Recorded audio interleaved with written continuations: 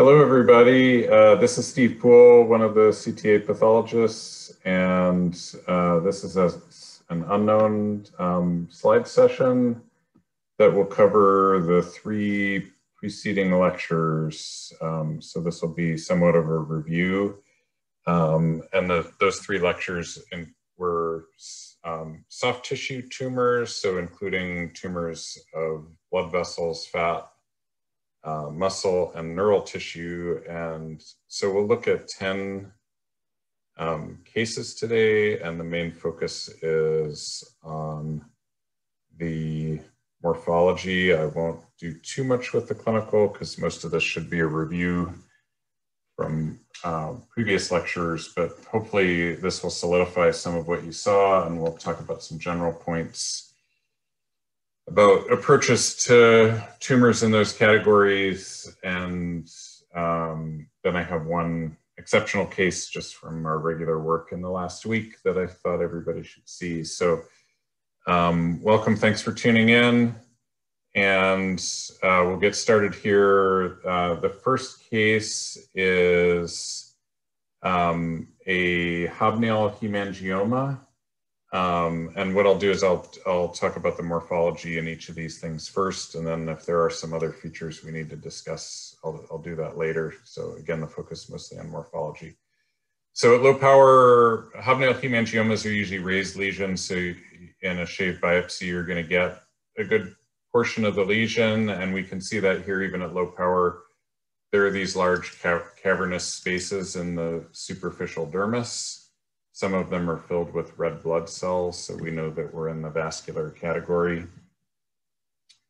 And if we look up at higher power, there are really two elements to the vascular portion of this. Um, this is a classical hobnail hemangioma, so the superficial portion of the lesion shows widely dilated vessels uh, that are close to but not immediately touching the basement membrane zone um, in the papillary dermis.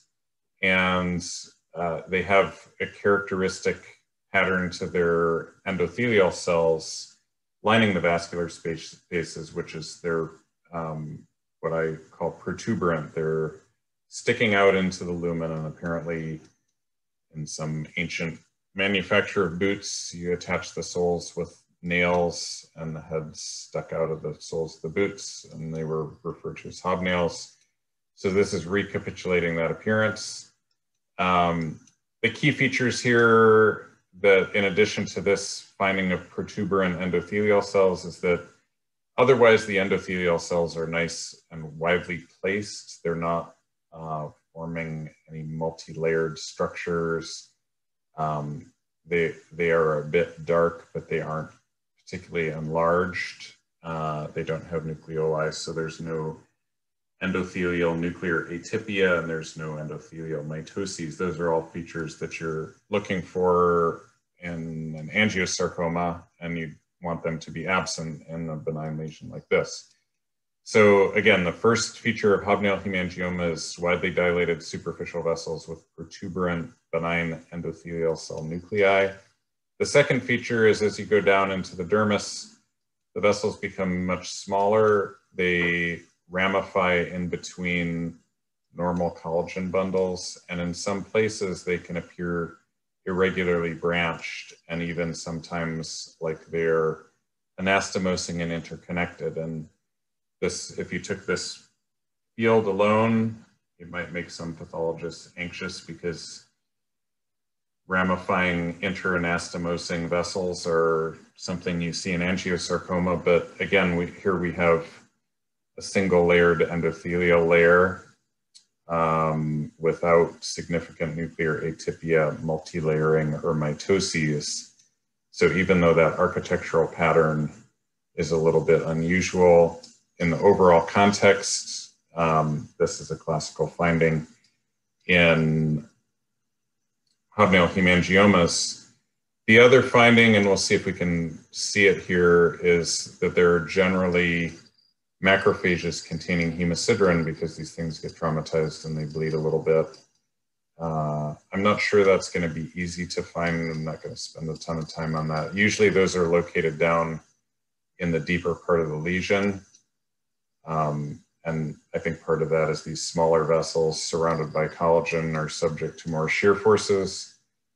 Uh, and um, that's part of what gives this lesion its characteristic clinical appearance. So hobnail hemangioma is a term that was applied to these after they had initially been described as targetoid hemosiderotic hemangioma. And I'll show you a picture from the Annals of Dermatology that explains why these are called targetoid hemosiderotic hemangiomas. So here's the main hemangiomatous lesion in the middle, and then it does have a targetoid appearance. And most of that targetoid area are those small ramifying vessels and hemosiderin and dermal macrophages. So those are the features of hobnail hemangioma. Um, very characteristic. If you see it, you'll recognize it instantly, especially if it's got these nice big vessels up near the surface. And um, then uh, clinical features, you can see it at almost any age range. It's got an even sex distribution, mostly located on the extremities and trunk. And um, the clinical is usually either hemangioma or nevus, which you could see from that clinical picture. Um, and generally ancillary studies are not important for this because it's obvious what it is. And uh, it's the H&E features that help you distinguish it from angiosarcoma. So that's hobnail hemangioma. So now we'll switch over to, speaking of angiosarcoma, we'll switch over to angiosarcoma. We'll look at a couple of cases of angiosarcoma, and then we'll talk a little bit about the settings that you can see it in, which are important to have in the back of your mind. So let's see.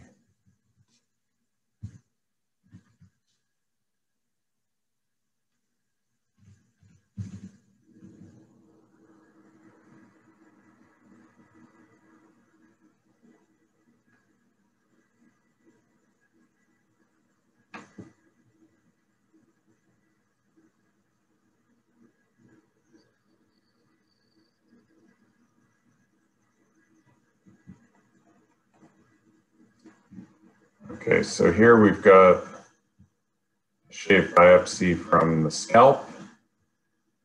And you can see that it's capturing a nodule. And at low power, we see some irregularly shaped interanastomosing vascular channels.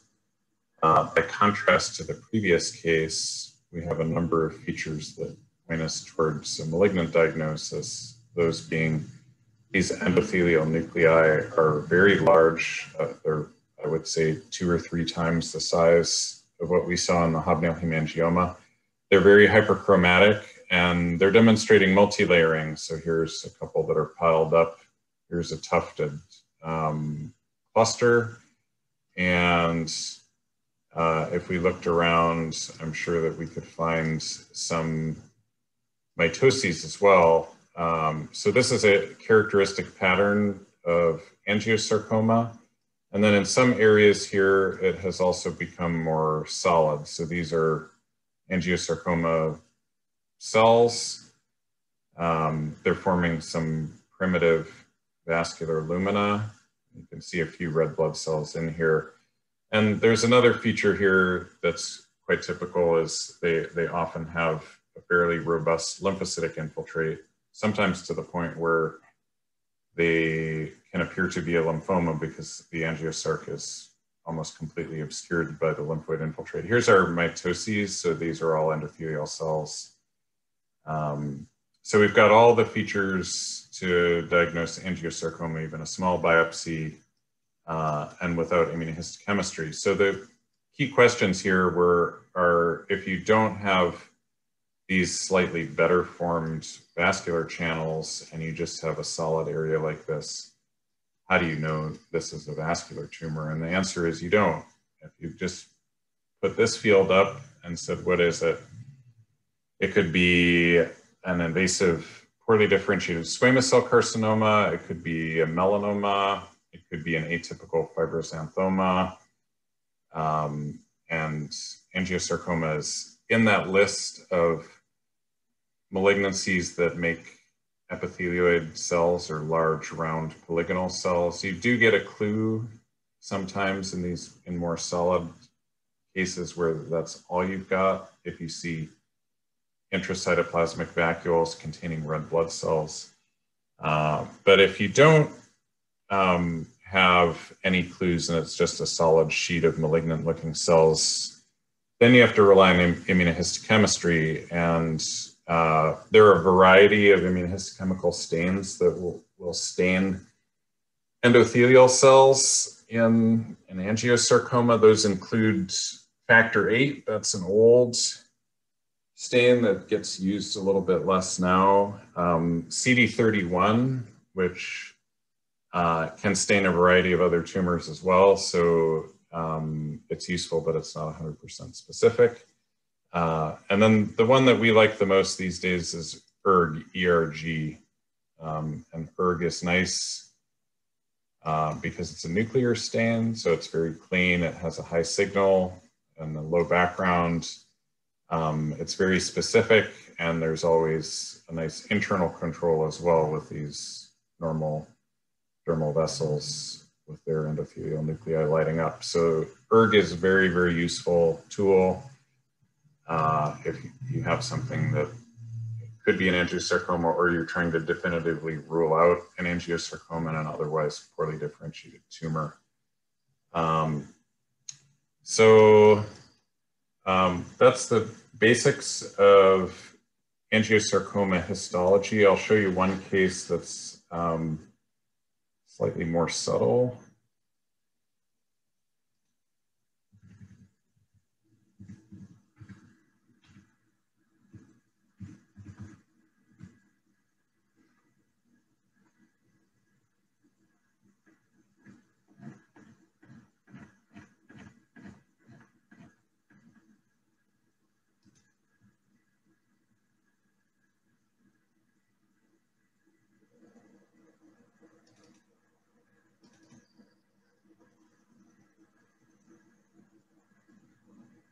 So this is also from the scalp.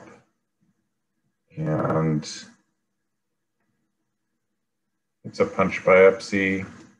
And most of what stands out at medium power is a lot of hemorrhage in the dermis. And you might just think this was a bruise, which is sometimes what the clinical of angiosarcoma is. But if you look at slightly higher power, you can see that there's also a lot of nuclei in the background, way too many nuclei for dermal collagen. Um, but they don't really appear to be forming well-defined vascular structures like we saw before. Uh, they are atypi atypical, so they're enlarged. Some of them have nucleoli. Uh, some of them are clustered. Uh, but this by itself, you might have a hard time saying exactly what this is. Um, it's certainly suspicious for angiosarcoma. You've got uh, a lot of unexplained hemorrhage in the dermis with um, cells with atypical nuclei. And so in this instance, the diagnosing pathologist did a CD31, which is one of our other immunostains. And you can see here that the vast majority of those cells, and this is a cytoplasmic stain in contradistinction to ERG, so it stains around the nucleus, but uh, the vast majority of those cells in the background of hemorrhage are positive, and in some places they're even forming clusters and nests. Um, so this is a more subtle example of angiosarcoma. Um, key features of angiosarcoma that you want to have in mind, it um, occurs in very specific clinical settings. Uh, I think Dr. Thompson went over this last week, but and um, there's really four set four settings. If you're not in one of those settings, um, you need to wonder if you're making the right diagnosis. And having those settings in the back of your mind will prime you to pick it out because since this is an uncommon diagnosis, you don't always think about it. Um, so setting number one, face and scalp of the elderly. Um, so in a, in a background of uh, UV-induced radiation damage, um, setting number two, uh, post-radiation therapy in particular um, for breast cancer. And uh, those cases, the vast majority of them are associated with chromosome 8q24 gains, which corresponds to an amplification of the MYC MYC gene. And uh, in those cases, you can actually do an immunohistochemical stain for MYC to help prove that uh, a vascular lesion in the breast is a post-radiation angiosarcoma. So that's setting number two. Setting number three is in the background of chronic lymphedema, also known as Stewart-Treves syndrome.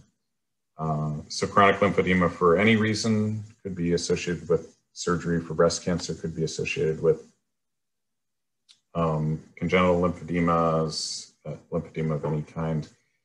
And then the fourth setting is uh, on the lower limbs of slightly younger patients not um, associated with sun exposure or radiation. Uh, those are often epithelioid type angiosarcomas, so almost exclusively composed of large round polygonal cells. And um, all of these angiosarcomas have a similar natural history. They all have a terrible prognosis. Um, most of them have some, something like 50% more mortality in the first 15 months after diagnosis, very difficult to treat.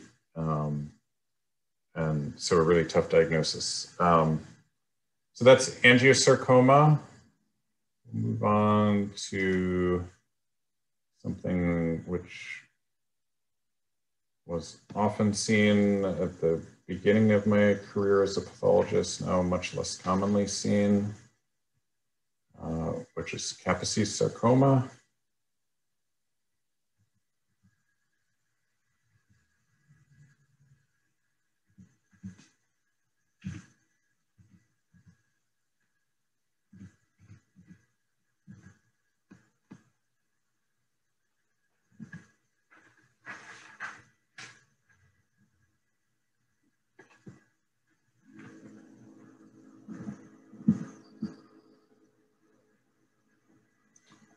So here we have a punch biopsy, low to medium power. There's a marked increase in cellularity in the dermis that's irregularly distributed. There are some slit-like spaces you can see at low power. There's some more nodular cellular areas. And this is on an acral surface, you can tell. So if we go up to higher power here, we're seeing something that has some similarities to the angiosarcoma we just saw. There, there is an interstitial pattern with an increase in uh, spindle cell nuclei, which are atypical. Um, there's a large number of macrophages containing hemosiderin. And um, then there's also an inflammatory cell infiltrate with lymphocytes and some plasma cells uh, surrounding vessels. And then if we look at this um, pattern in some areas, there are more clear-cut vascular lumina like here and here. Um, these are not normal vessels. No normal vessels have that kind of angular, irregular pattern. And in some places, the, these um, abnormal vessels are surrounding more normal vessels. Um, this is all very characteristic of Kaposi's sarcoma in its earlier phases. Um, so patch and plaque stage of KS is interanastomosing uh, channels um, with atypical endothelial nuclei, sometimes surrounding more normal structures, either neurovascular or adnexal structures. Here you can see it, uh, these small vessels surrounding a nerve and associated with an inflammatory infiltrate. And then the deeper areas, this is a pattern that you see more in nodular KS. So this has both early, mid, and late stages of KS. So nodular KS has more sheets and nests of atypical spindle cells with um, intracytoplasmic lumina and some slit-like vascular spaces. And then we'll switch to a different case, which I think is more predominantly nodular. Give you a look at that. Sometimes that's all you get.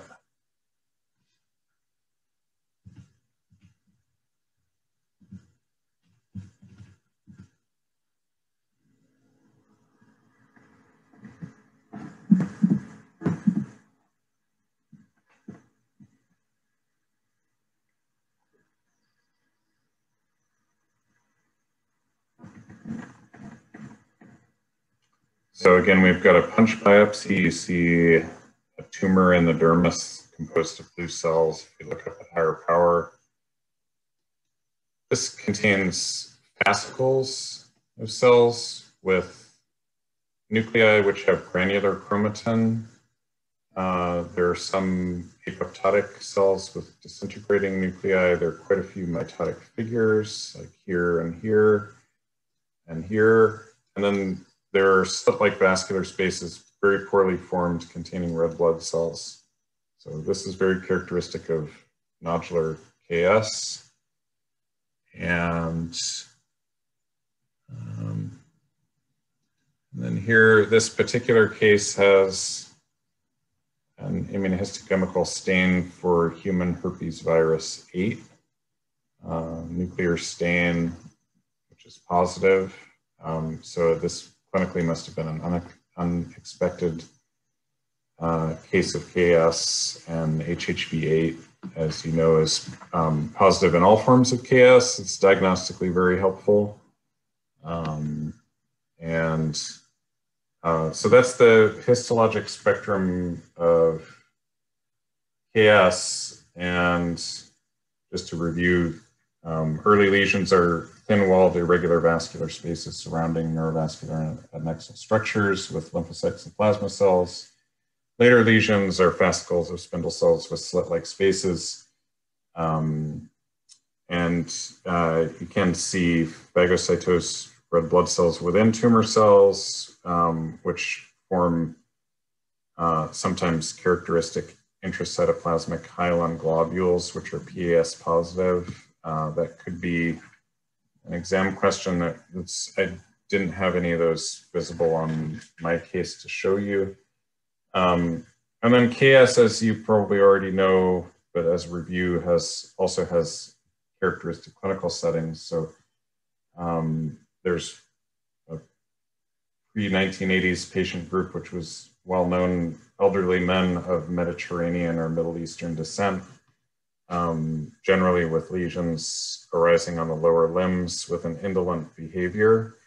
Uh, then there's a Central African form, which is endemic and can either have an indolent or aggressive course. Um, then there is a form that occurs in immunosuppressed patients, generally organ transplant patients, um, and that responds to uh, reduction of immunosuppression for tumor management. And then the last is the AIDS-associated form of Kaposi sarcoma, which was really prevalent um, in the 80s and 90s. So I was a resident from 1995 to 2000. We would see cases of KS every single day, multiple times a day. Um, and now, since the advent of HAART therapy uh, you see cases of KS maybe as a dermatopathologist once a month, um, probably less than that. So it's a really interesting disease that was all over the place and now is almost gone. Um, uh, so that's KS. Um, and as I mentioned, HHV8 is associated with all of the different forms. So we'll leave uh, vascular tumors behind. That's three really characteristic vascular tumors to have fixed in your mind. I think any of those are potential um, board questions. And now we're going to move into some slightly more mundane uh, things, some of which we'll go kind of quickly through. Um, so coming up with uh, fatty tumor beyond a lipoma is a bit challenging. Um, and so I'll just briefly show you an angiolipoma.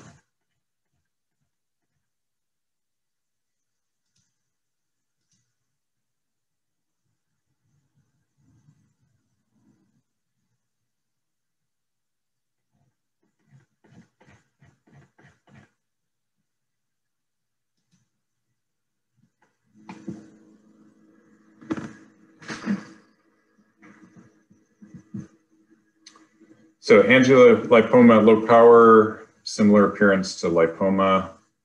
Um, it's a pale nodule. If you look up at higher power, there's an intermixture of mature adipocytes uh, with their thin cytoplasmic membranes and almost invisible nuclei, and then small capillary sized blood vessels, which are generally clustered more towards the periphery of the lesion, as you see here uh, and then often contain um, intraluminal, sorry, um, thrombi.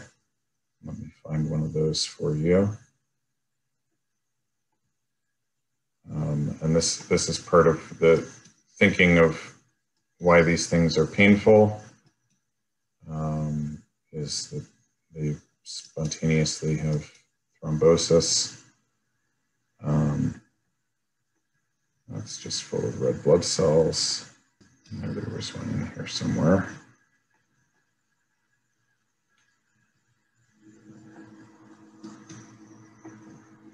Here we go. There's a fibrin thrombus. Nice pink hyalinized uh, structure. Um, here's some. Uh, here's an even better one. Layers of red blood cells and fibrin.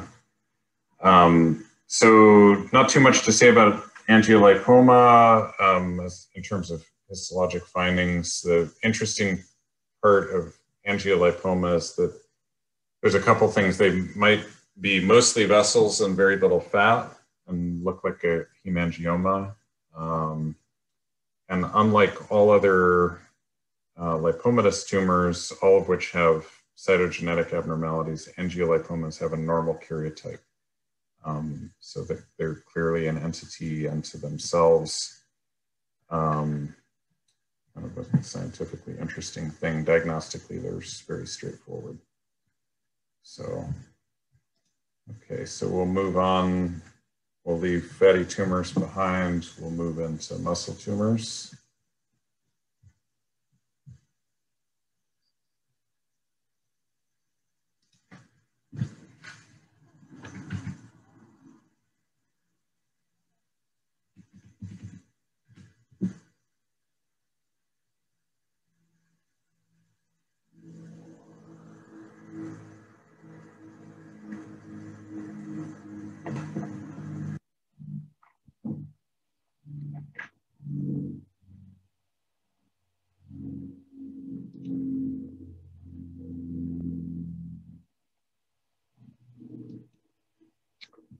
Okay, so here's a shave biopsy of a raised lesion. And at low to medium power, you can see the slightly brighter dermal collagen is being di displaced by these uh, long fascicles of pale cells that are running in all sorts of different directions. Um, we've got intact solar elastosis up near the surface. And if we look at higher power, these fascicles of cells have some highly characteristic features of smooth muscle cells. So they've got abundant fibrillar pink cytoplasm. Uh, they have some vacuolization, which is often um, located adjacent to the nucleus. And then they have blunt-ended nuclei when they're cut in the right um, plane of section. So that this is a nucleus that you could say was cigar shaped. That's the classical pathologic term terminology, parallel sides and blunt ends um, for a smooth muscle nucleus. And it's also centrally located in the cell.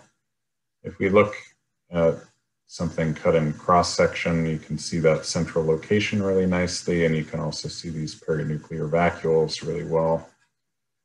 Um, these cells have no nuclear atypia. They're not hyperchromatic. They're uniform in size one to another, and they have no mitotic figures.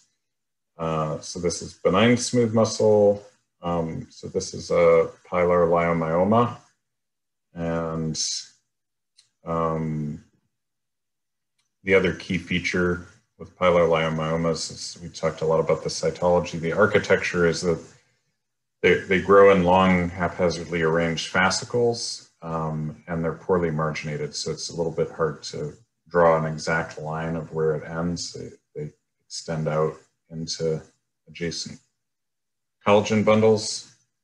Um, and so, um, and they're not encapsulated either, which goes with the poorly marginated part. Um, so leiomyomas can be solitary or multiple.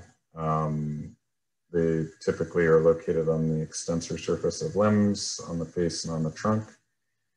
And as a board's question kind of point, they can um, be associated with something called Reed syndrome uh, when they're multiple, which is inherited in an autosomal dominant fashion and is associated with uterine myomas, and also with renal cell carcinoma. Uh, and this is related to a germline fumarate hydratase mutation. And fumarate hydratase, in addition to being part of the Krebs cycle, is a tumor suppressor gene. So when it's mutated, the tumor suppressor properties go away and uh, these different neoplasms can arise. Um, so something to think about if you have a patient who has multiple uh, leiomyomas. Um, the only other thing to talk about in this instance is um, cutaneous leiomyosarcoma, which is you'll read about in textbooks, and I imagine that the lecturer who talked about muscle tumors discussed uh, cutaneous leiomyosarcoma has similar growth pattern, but has cytologically atypical cells and mitoses. But it's a, a bit of a misnomer because um, tumors such as this that are limited to the dermis have no metastatic potential and they're cured by complete excision. So even though histologically they look malignant, they don't behave in a malignant fashion. And uh, there have been some arguments that that terminology should be abandoned for those particular things. They should just be called atypical smooth muscle tumors. And removed to not alarm patients too much. Um, but so the upshot of that is that there are very, very, very few malignant smooth muscle tumors in the skin. If you do see something that is clearly a leiomyosarcoma, the most likely option is that that's a metastatic lesion and not a primary lesion. Um, and that should go through your mind as a pathologist if you're diagnosing.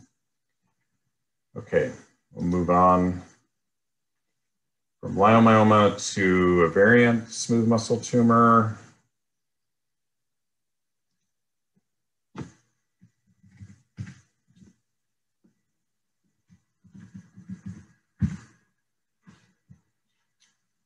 So coming up is angioleiomyoma.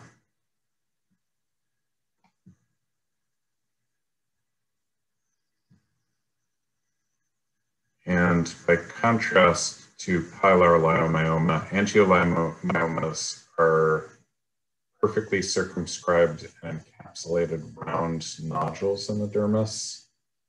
And as you would expect with their name, they have similar cells to what we described in pilar leiomyoma. They've got abundant eosinophilic cytoplasm with vacuoles, vacuoles adjacent to nuclei they have blunt-ended or cigar-shaped nuclei, parallel sides, blunt ends.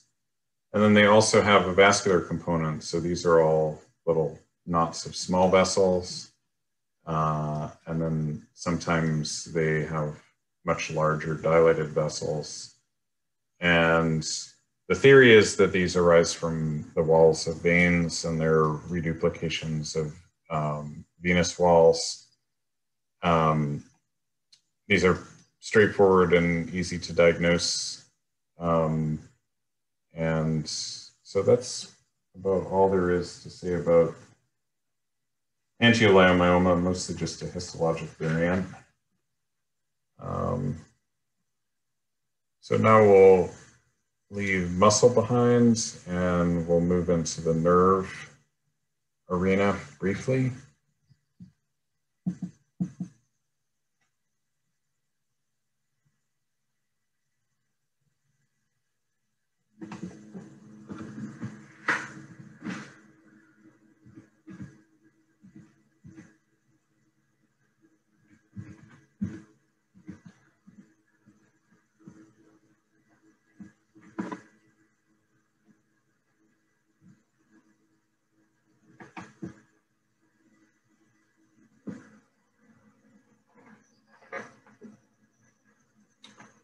And we're going to look at our two prototypical neural tumors, neurofibroma and schwannoma, which have some very characteristic differences and some similarities. Uh, so this is a neurofibroma, typical biopsy. It was a pedunculated um, or raised papule. If you look at low power, you see a cellular dermis um, with a lot of both pink and blue, which means we've got lots of nuclei and lots of cytoplasm. And if we look up at higher power, these lesions have a very characteristic appearance of delicate spindle cells with tapered nuclei. So in distinction to muscle cells, nerve cells have nuclei that taper down to a fine point. Um, and instead of being uh, parallel sides, the sides also taper towards each other. Um, there's fibrillar cytoplasm with uh, lots of gaps, and um, many of the nuclei are also buckled uh, or wavy. That's a characteristic finding. And then there's typically a background with mast cells. So this is a mast cell, it's got a typical fried egg appearance and granular basophilic cytoplasm so that's the cytology of neurofibroma. Neurofibromas are also not encapsulated um, or clearly marginated. So this kind of trickles off into normal dermal collagen. And you can't quite tell exactly where it ends. Um, and you don't have to worry too much about malignancy in neurofibromas. Uh, neurofibrosarcoma, which is now known as malignant peripheral nerve sheath tumor, is extremely uncommon as a primary lesion in the skin. Um, generally only happens in patients with neurofibromatosis, and there's usually a distinct zonal change where it's arising in a pre-existing neurofibroma, and you see something like what we have here, and then something adjacent to it that looks like a straightforward sarcoma with um, marked increase in nuclear to cytoplasmic ratio, mitoses, maybe necrosis. Um, so you don't have to spend too much time when you're looking at neurofibroma debating whether it's benign or malignant, um, because there's usually not malignancy hidden in these. Um, so what kind of cells are in a neurofibroma? This is potentially important if you get something and you're not sure that it's a neurofibroma and you decide you want to stain it. So um, neurofibromas have a mixture of Schwann cells, uh, perineurial cells, and axons. And what that means in terms of staining, so Schwann cells stain with S100 protein. Um, and so neurofibroma will never be 100% S100 positive. It's generally around 40% or so um, perineurial cells don't stain with S100, they stain with CD34, which is more of a fibroblast um, marker, and about uh, similar numbers, somewhere less than, slightly less than 50% of cells in neurofibroma stain with a uh, CD34 stain. And Um, this is important because occasionally you might see a lesion and you'll say, well, is this a neurofibroma or is this dermatofibrosarcoma protuberans? And that's a reasonable question in some settings if there's a very cellular neurofibroma. And so, and you might do a CD34 stain, CD34 is positive.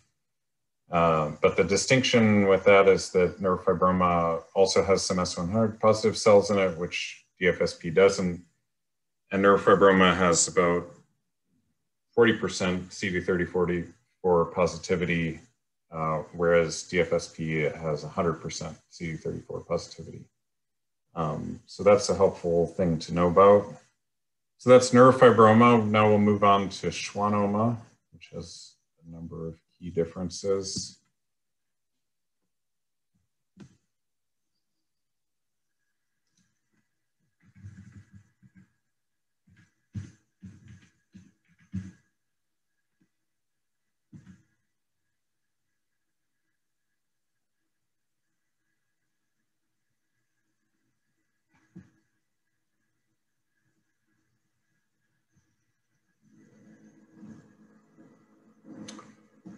So dermal schwannomas are uncommon. They do happen, but uh, most schwannomas occur in the subcutis, and you've got an example of that here. Here's uh, excisional specimen uh, with not much in it that was done to access this lesion, which was done deeper. Um, and characteristic of schwannomas, this is perfectly round and encapsulated. It's got a fibrous capsule around it, so it's shelled out um, from adjacent structures. And schwannomas are generally attached to the surface of a nerve um, rather than expanding a pre-existing nerve, which neurofibromas do. Um, so sometimes you can actually find that original nerve um, on the capsule if that was taken with the surgical specimen. And then schwannomas have uh, characteristic internal architecture that's biphasic. So there are two areas that are known as Antoni A and Antoni B. So Antoni A areas are cellular uh, and they're composed of fascicles of spindle cells that line up around less cellular areas, which are known as Verocay bodies. So that's what's happening here. Let me find a better version of that. Um, so yeah, these are nuclei exhibiting palisading adjacent to a nearly acellular region uh, so those are Verocay bodies. This, this is an Antoni A area. And then Antoni B areas are more loose with a lot of space, often with a lot of myxoid material, and then bland spindle cells. Um, so those are the two cellular areas. Then schwannomas also very characteristically have perivascular hyalinization, which you can see really nicely here. There's fibrosis adjacent to large vessel. Here's some more. Um, so those are all helpful features. And then uh, schwannomas are composed of 100% Schwann cells, which means they stain 100% with S100 protein. Don't stain at all with CD34. There's a good Antoni B area with loose myxoid material. Um, uh, so those are the features of schwannoma. Uh, schwannomas can have high cellularity and a high mitotic rate and still be benign. Um, malignant schwannomas are extremely uncommon. Um, something you won't see very often, but uh, there's our two main neural cell types. And we'll move on to an unusual lesion, which is easy to overlook.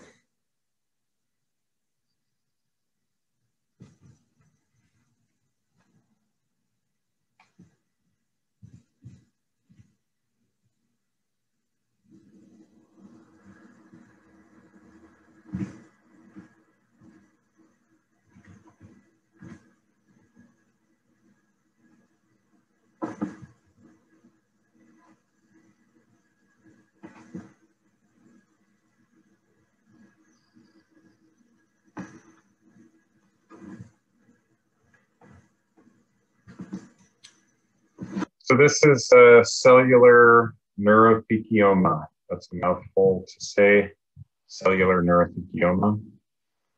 Um, excisional specimen, which demonstrates these large and confluent nests of cells forming a dermal nodule. If we look up at higher power, these nests contain fascicles of spindle cells, which have slightly enlarged but generally bland nuclei and abundant vacuolated and pink cytoplasm.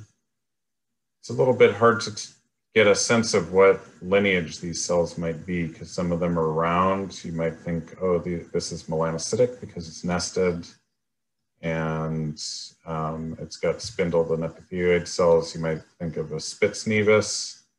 You might think of a fibrohistiocytic tumor like plexiform fibrohistiocytic tumor. Um, and all of those would be good thoughts. Uh, there's something a little bit different about how this grows than either of those tumors. And um, we'll look at another. So immunohistochemistry is really important for these, but this is a general flavor of uh, nests and fascicles of bland spindled and sometimes epithelioid cells present in the dermis. Um, so we'll switch over to another case that's got some immunohistochemistry.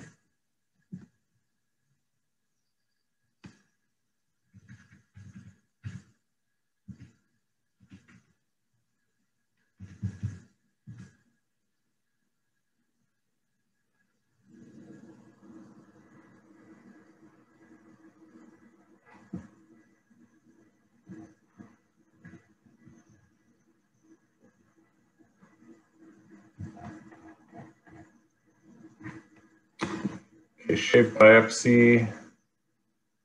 This has a slightly different look than the last case. It's much more cellular. Um, it's got uh, more cells with clear cytoplasm. It does have this kind of nested appearance in some areas, um, a fascicular appearance that is storiform in some areas, which might make you think about a fibrohistiocytic tumor. You took this out of context, that would be pretty decent for dermatofibroma. Um, uh, these other cells, not so much for dermatofibroma. And so cellular neurothekeoma is in some ways a diagnosis of exclusion by immunohistochemistry. So you do markers for uh, melanocytes. Um, in this case, a SOX10 was negative you do epithelial markers, in this case, say P63 was negative, um, and um, uh, you might do an S100 stain, which would be negative, a muscle stain, desmin in this case was negative. Um, and then there's one stain that's positive in cellular neurothekeoma that's generally negative in other things in the differential diagnosis. That's NKI/C3. Uh, that could be a board question. So here's an NKI/C3 which strongly and diffusely stains um, the tumor cells. So that's cellular neurothekeoma. Um, this occurs predominantly in younger patients, um, and it's, as we said, a multilobular cellular tumor with a fibrous stroma. Uh, can look histiocytic or melanocytic, negative for melanocytic markers like S100 and SOX10, positive with NKI/C3. So that really covers our review of, uh, that's nine great soft tissue cases. And then I'm gonna show you something that you could classify as a soft tissue tumor um, as well. It's out of classification in some ways. Um, very, very uncommon. And I'd encourage, I'm not going to give you the diagnosis up front on this one. I'll walk you through the findings. So any of the dermpath mavens in the group, if you can get your mind in gear and see if you know what this is, that would be great. And once you've seen it, you'll instantly recognize it the next time you see it, which probably won't be for a while. But so this was a forearm biopsy from a middle-aged patient. And you can see there's a dermal nodule.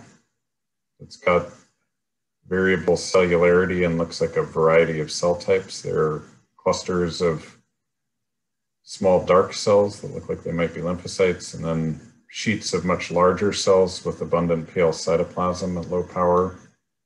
And it's a pretty circumscribed small nodule. Um, we look up at higher power. The darker areas are indeed mostly small lymphocytes. Um, there's a smattering of plasma cells in here in some places.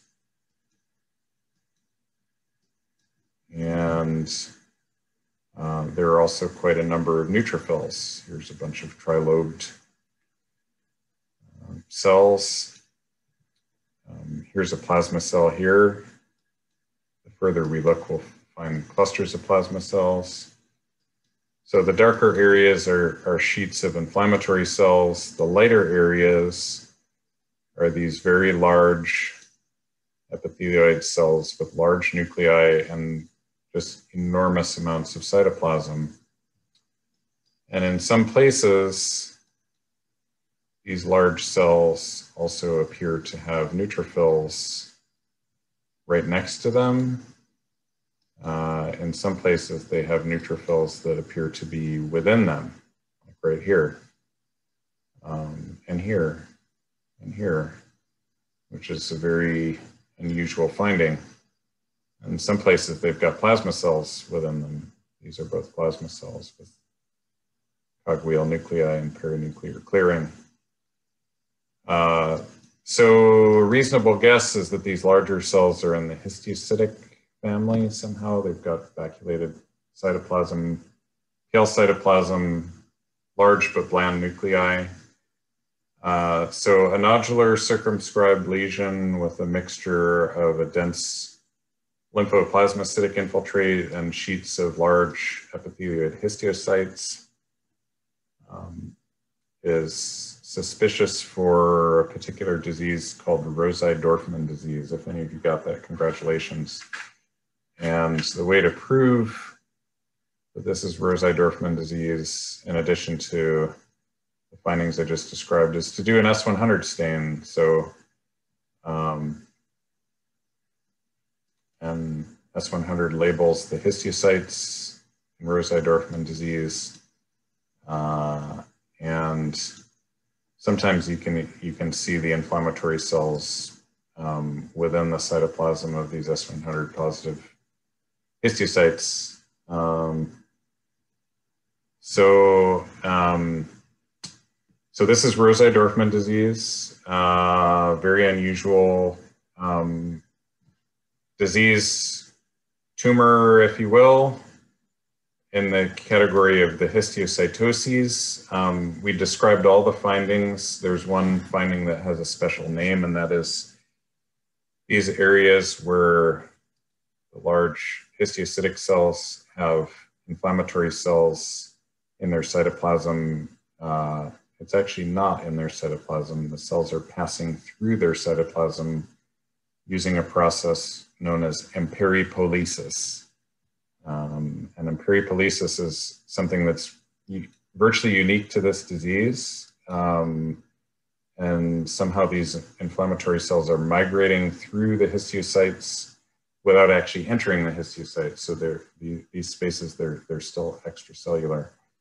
Um, so in Rosai-Dorfman disease, the important part of cutaneous Rosai-Dorfman disease is first to recognize it and, um, and then to know that Rosai-Dorfman disease is, um, has a systemic form uh, that is generally found in lymph nodes in the systemic form, um, it may be limited to lymph nodes or have uh, extranodal involvement in about 40% of cases. And in those cases with extranodal involvement, the skin is the most common site.